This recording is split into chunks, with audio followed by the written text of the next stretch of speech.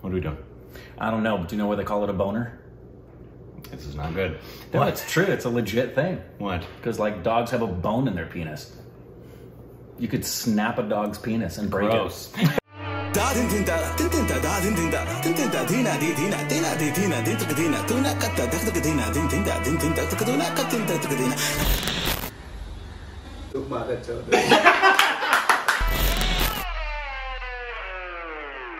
Hey, welcome back to our stupid reactions. Eating some Korbin. 100% and true. folks on It's Instagram, got Twitter, it up. for juicy content. It's Thank you so much so for the camera juicy. bell over in Cage Squad. Bang! Also, Oh! on YouTube channels.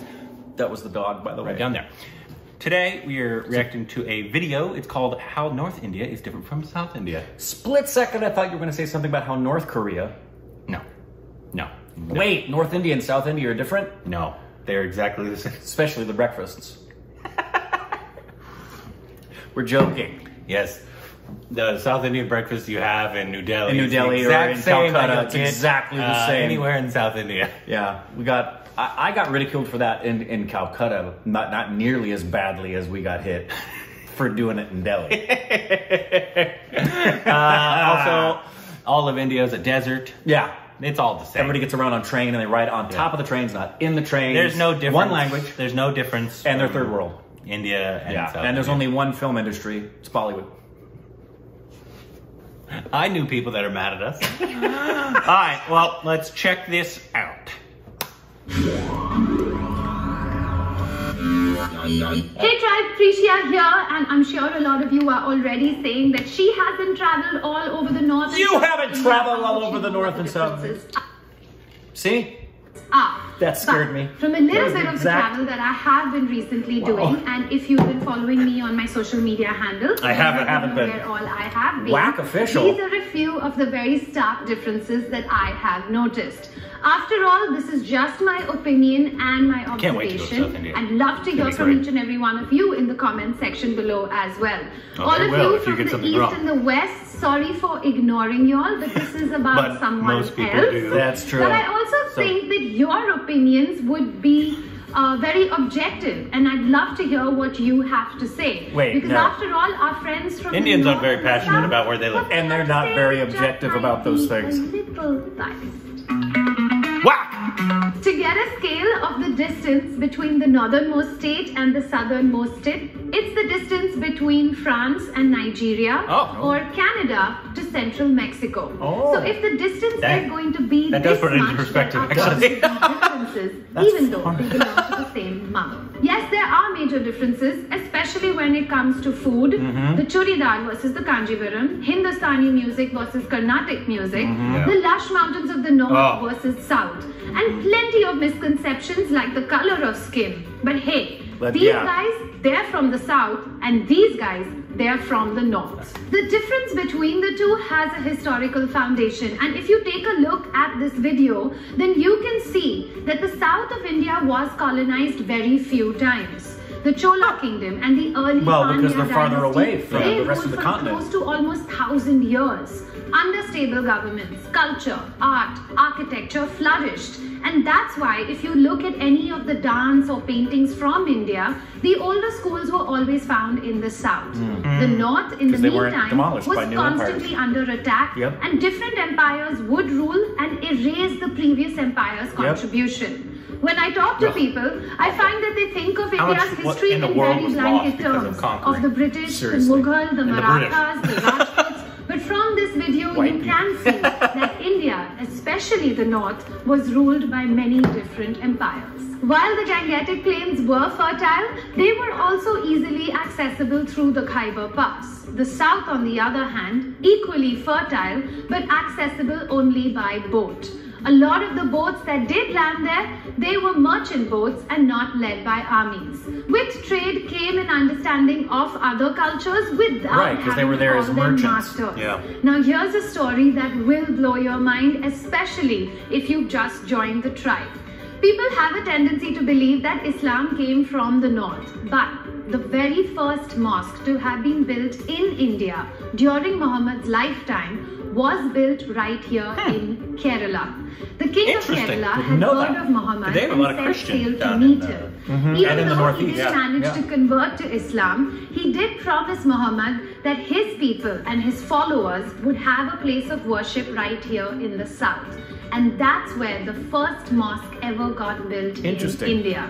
This mosque, it still exists in India. That's so awesome. understand that the British did not give us Christianity and the Mughals did not give us Islam, but it's the merchant vessels Yeah, that yeah. brought these religions to Indian shores. Even though the South did get colonized before the North, the British were very focused on Delhi and Bengal. Yes, they did have centers in Madras, but their relationship with the kings of the South was less disruptive than the North. People from the North were constantly moving from one place to another, while those in the South were allowed to stay and their roots were deepened even more. Now, we all know what happens to deep roots. It makes for the foundation for a really strong tree. Why is it that Kerala and Tamil Nadu are spotlessly clean as compared to UP, MP, or? Bihar? It comes from education, it comes from culture, and it also comes from having a deeper sense of belonging. People from the south are deeply affected if their natural resources are depleted, and that is why some of the ah. jungles from the south Oh. are richer and greener. You mean the natural inhabitants the are more in touch with the land than the invaders? to its coin. Because of the Well, not that the- not that the north were the invaders, place, that's where the invaders came, was in the north. new. There is a survival instinct and a warrior spirit that does kick in, Yep. which Yeah. makes it a little stronger. So compare America to Europe. It's young, new, flashy, and always trying to impress. In our case, Hindi movies with its obviously northern influences becomes the barometer for pop culture in India. Yes, southern movies have caught up, but in today's day and age, it's still easier to watch a Hindi movie in Madurai than to try and catch a Tamil movie in Mathura. So I'm going to end this saying. Video you were with gonna say two something points. Yeah. I was like, you're could gonna have get a spoken flack. about Yeah. women's safety and thrown a whole bunch of numbers and figures at you. Yes, it would be a very good barometer of a society's progress. But at the same time, we have to understand that Kerala, it was matriarchal. Women over there are much more educated and therefore more empowered. But honestly, this is another whole Kerala. topic and it could be a whole video by itself. Because they have more peace, different religions are able to exist with one another. Hmm. And they're also less suspicious of each one's intentions as compared to the North. You could generalize if you wanted to say that South Indians are geeks and North Indians are loud. But in the comment section, let's try and learn from each other. Let's talk about the good and not really focus on the bad. After we're all cousins from the same mother. I'm really looking forward to the conversation that is going to start in that comment section below. Don't forget that all my social media handles And- that you and while can reach out to me as While you're at it, if you really want to keep things peaceful, talk about your cricket team versus their cricket team. Who just who Mumbai one, right? I don't know. Yeah, because Ranveer was all all crazy and going all happy. He was. I saw that, but I don't know who he. I think it was Mumbai. I don't know who he roots for. the the Mum Mumbiker the what's the name of the Well, Mum- Mumbaikars are. I know, but the the name of the the team. Anyways, I don't know. I think it was. You can let me know. You all know. You know. I I- yeah. I know. I'm not. I yeah.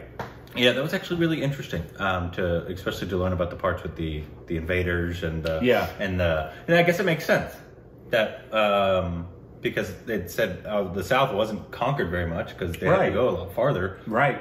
well, Uh, it's easier to go by land, first of all. Two, that's where you had the empires coming in, uh, and anybody traveling by boat would typically be a merchant. And is it true that more of the natural resources were taken from the north because that's one of the more populated areas, I guess? Like when the British came, and I they think it was they, just easy. They depleted, obviously, India Yeah. of almost a ton of their natural resources. Uh, that was one of the reasons why they overtook them. Well, yeah, I think that's why it's the, the I think it just has to do with ease, the accessibility of the fact that the north by land and the far east by water, that coast uh, was easier to to get to than it was the far south of Yeah. India, like the far south of Africa.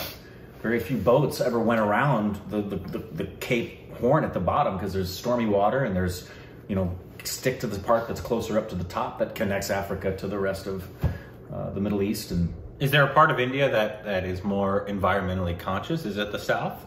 I would expect it to be so based on what she said, but it's hard for me to make that a, a definitive expectation Yeah. because tourist things we've seen, every region seems to be really. I mean, cities aren't going to. Yeah. A city anywhere isn't going to be as careful as There's a, just a too many regional. people. Yeah. There's just too many people. But Yeah. it, it seems like, I mean, the probably the two most beautiful places I've seen, at least on video. Obviously, we haven't been there, but you know, Kerala, Mm-hmm. Kashmir, both seem like gorgeous, Gorgeous. landscape, just vast. And then we've seen a bunch from Tamil Nadu that's also been equally gorgeous. Um, so I can't. Mm-hmm. And I always remember Assam. Uh, that was always that was one of our That's- first ever. that's northeast, Northeast. though. It's Yeah. above. Uh, which I would love to go. Yeah. But you know, we're gonna come and go to India multiple times. Yeah. I mean, yeah. we- It's. who knows? We might have Spend a lifetime. Might have already been back, but we. I know we could have been, but I remember talking to a lady back when I was an Uber driver when I was talking to her about the channel, and she's in love with India.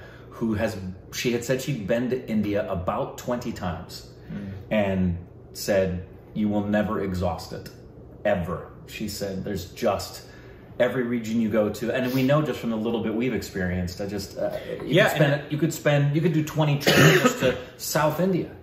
And that actually put it into perspective, you don't realize because a lot of times in Western maps, America is like the biggest, when in fact it's Yeah. actually not at Not all. only, not only is it the biggest, it's you, all the Western maps. When you look at them or open them, America is right in the middle. It's like dead center, and Well, all the the, other things are around us. All the other stuff goes around there. Yeah, The world, world revolves around us. of course. Uh, of course.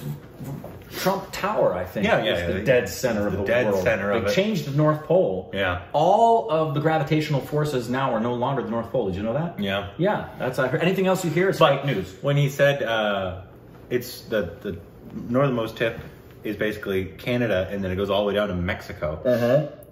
That's that's really far. That's like the entire Appalachian range. That's like yeah. That's very, very far. Yeah, that was cool. Well, well done video.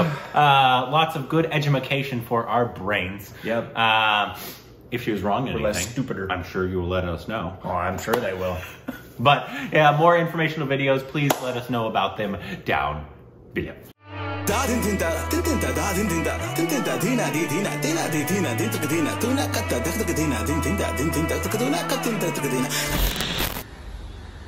बात अच्छा होता